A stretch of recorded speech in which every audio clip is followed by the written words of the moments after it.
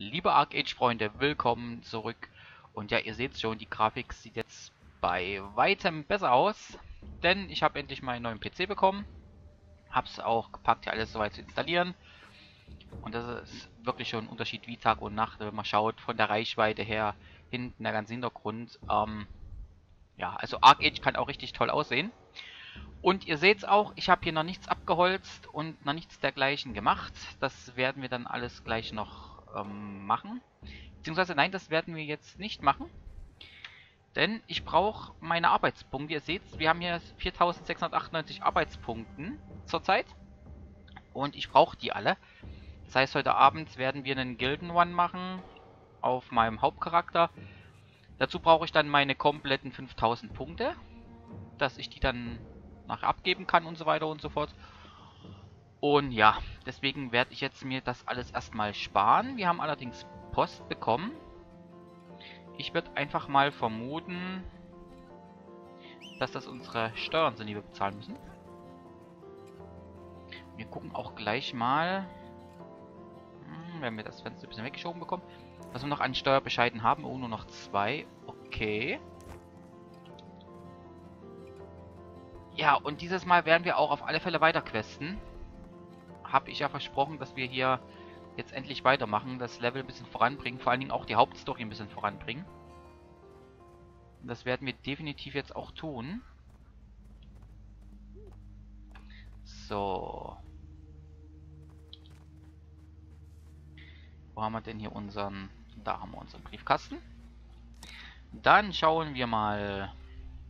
Okay, wir haben hier unsere was wir abgegeben haben bei der letzten Quest. Das andere ist dann die wöchentliche Steuer. Gut, haben wir noch 19 Stunden. Das werde ich dann wohl gleich mal machen. Dass ich mir die nachher entsprechend hole und dann die Steuern fix bezahle. Und das andere, das haben wir ja alles gekauft. Das passt. Okay. Gut.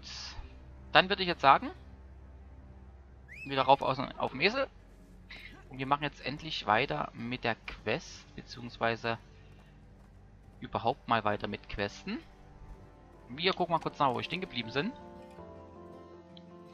So. Wir sollen hier Verwirrung stiften. Dann sollen wir hier mit klagender Leichnam sprechen. Und mit Krummbrückenhäuptling auch sprechen. Und die Handelsquest hat man fertig gemacht und in Mahadevi kommen dann feste Seen von einheimischen Tieren. Okay. Werden wir machen.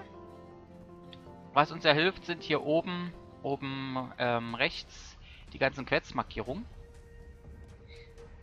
Das heißt, wenn ich hier dann mit der Maus rübergehe, dann blinkt das oben rechts. Ihr seht das jetzt wahrscheinlich auch. Das heißt, es ist Daily besiege Rotmain-Gnolle werden wir dann gleich mal machen, dass wir auch mal ein bisschen wieder hier reinkommen in die Action.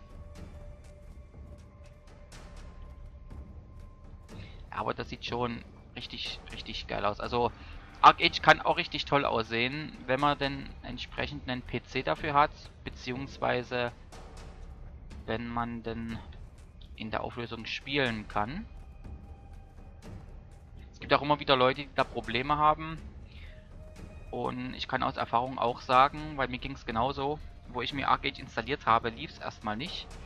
Liegt daran, dass wenn ihr relativ neuen PC habt und alles installiert so weiter, dann habt ihr mitunter nur DirectX 11 und ArcAge benötigt aber auch noch DirectX 9. Das heißt, ihr müsst euch dann noch einen DirectX 9 Treiber runterladen. Und das solltet ihr tunlichst nur von Microsoft tun. Also sprich auf die offizielle Homepage und so weiter und so fort. Und dort entsprechend euch den Treiber besorgen. Denn mit DirectX, ich denke, das werden viele wissen, ähm, gibt es dann ganz dubiose Treiber bzw. ganz dubiose Webseiten. Und wenn ihr euch da was runterzieht, dann sind das so die ersten Kandidaten, wo ihr eventuell dann auch gleich mit Trojaner runterbekommt oder oder oder. Deswegen, wenn ihr sowas euch zieht, immer nur von offiziellen Seiten, ob das jetzt Treiber allgemein sind oder oder oder. Und wir sind jetzt gleich da. So.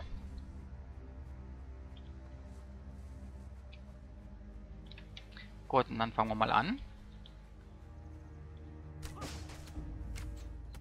Hopp. Und dann ran. Da liegt er auch schon.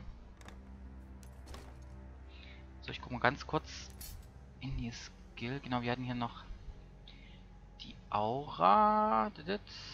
Das ist unser Sturmangriff und das ist unser normaler Schlag. Genau. Okay.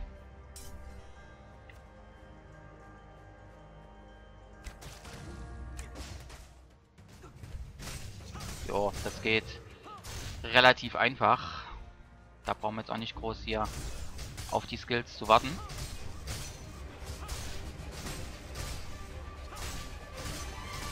Hier einen Sturmangriff drauf. So.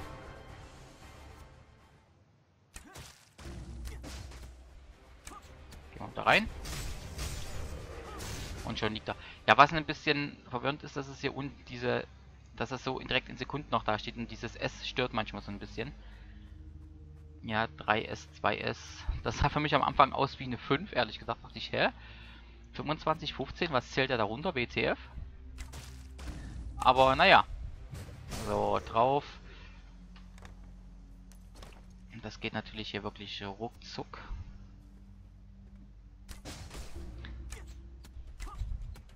Wie gesagt, wir werden als allererstes auch die Hauptquest verfolgen. Die, die Arc Age spielen, die werden das inzwischen auch, denke ich mal, relativ gut kennen mit der Hauptquest. Da gibt es dann relativ viele Marken. Okay, da kommen noch nicht mal nah ran. Das ist auch schön. Und für die Marken können wir uns dann richtig, richtig gute Sachen holen. Entweder wir holen uns ein Haus, aber ich tendiere ja eher doch zum Boot da wir hier vom Boot durchaus mal auch irgendwo auf Inseln fahren können. Beziehungsweise dann auch mal mit dem Angeln. Wir wollten uns mit dem Angeln beschäftigen. Und können dann auch mal tauchen gehen und sowas. Das macht auch Spaß. Das heißt, mit ein bisschen Glück tun wir uns irgendwo hinstellen mit dem Boot, nehmen Taucherausrüstung und besorgen uns dann ein paar Handelspakete, die vielleicht auf dem Boden liegen oder oder oder. Da gibt es verschiedene Sachen.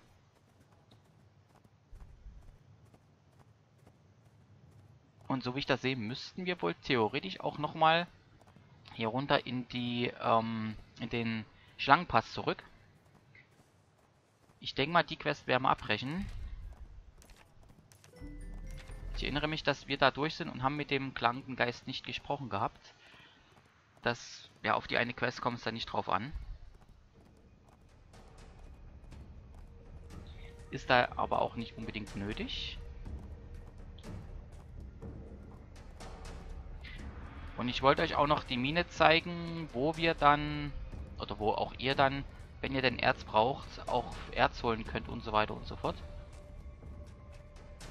Und vor allen Dingen, ich glaube, Erz ist noch nicht mal unbedingt das Wichtigste, aber Stein. Also Stein, so banal das eigentlich klingt, aber Stein ist eigentlich fast noch wichtiger wie Erz. Zumindest, wenn ihr euch was aufbaut. Weil ihr ähm, für eure Häuser Stein braucht. Und gerade wenn ihr später ein Bauernhaus haben wollt. Wobei ein Bauernhaus wäre natürlich auch nicht schlecht. Aber hier werden wir ein Bauernhaus, wo keinen Platz mehr finden.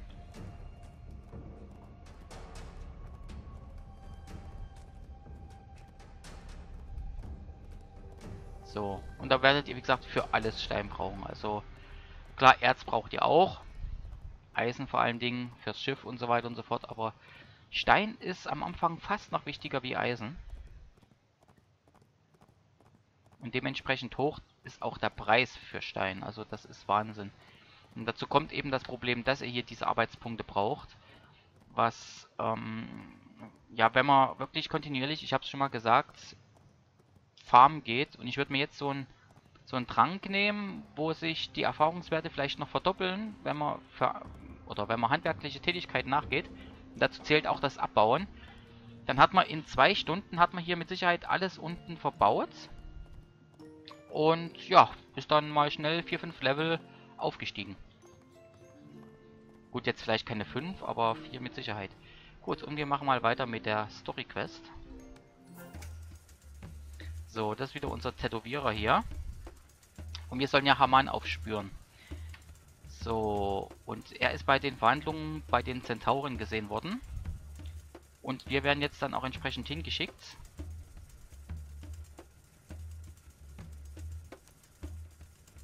So.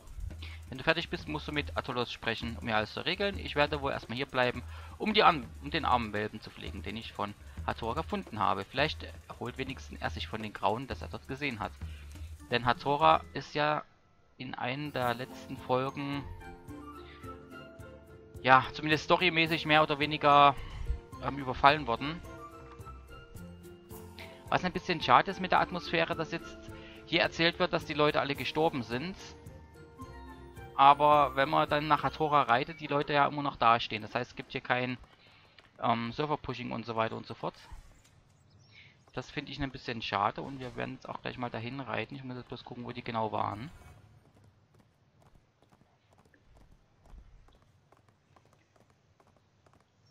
Was heißt Server Pushing? Server Pacing natürlich. Das findet ihr hier vergebens. Aber nochmal, hier sind die Quests nicht irgendwie der Mittelpunkt, sondern hier sind die Quests einfach nur Mittel zum Zweck. So, wir sollen jetzt hier Hammerns Anhänger besiegen und nach Hinweisen suchen.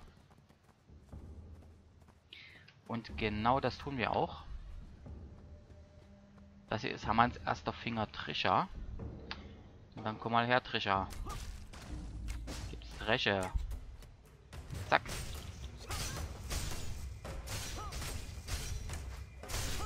Ja, das läuft auch relativ gut hier. Wie in jedem MMO sind die Anfangsquests wirklich relativ einfach und relativ gut zu meistern. Es wird später ein bisschen schwerer. So, das haben wir auch schon erledigt. Es wird später ein bisschen schwerer, wenn ihr dann ähm, bessere Waffen braucht, bessere Ausrüstung.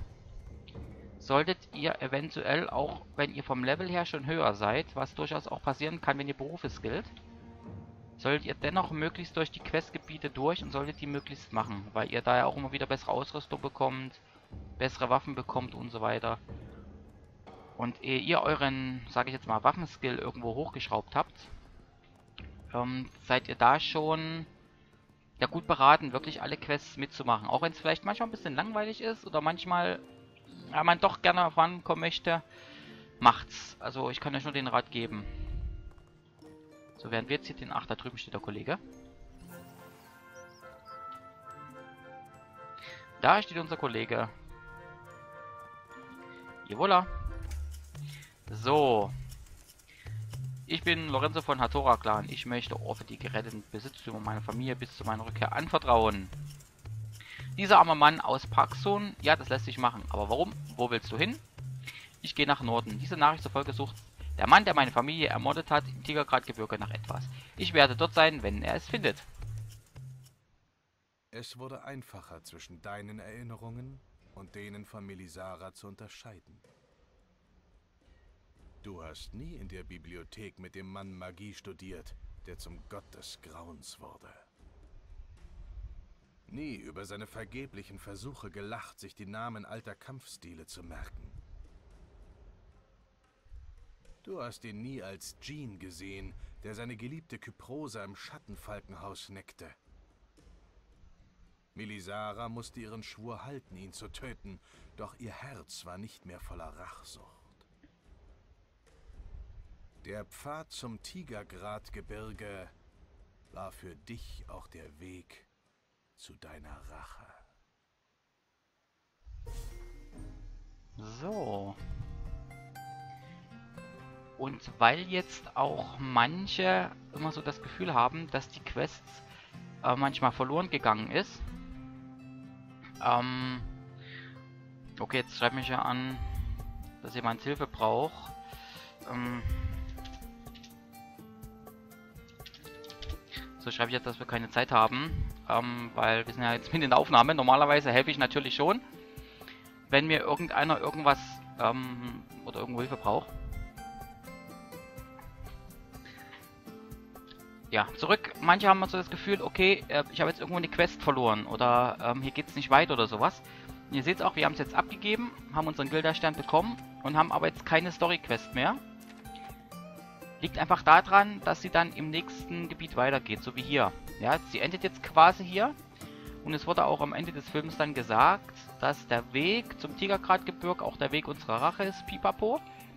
Und das heißt dann eben auch, oder das gibt dann so die Information, dass es dort weitergeht. Und das geht auch dort weiter. Und das wird euch noch ein paar Mal passieren, bis ihr die Quest wirklich durch habt. Also solltet ihr jetzt an einem Punkt gerade sein, vielleicht weil ihr noch ein bisschen hinterher seid, dass ihr jetzt auch so denkt, okay, ist die Quest jetzt fertig oder irgendwas. Mitunter endet die abrupt, so wie jetzt, und dann geht es dann im nächsten Gebiet irgendwann unverhofft weiter. Also da müsst ihr euch keine Sorgen machen. Wenn ihr die Dinge abgeht, die Questgebiete, stoßt ihr drauf.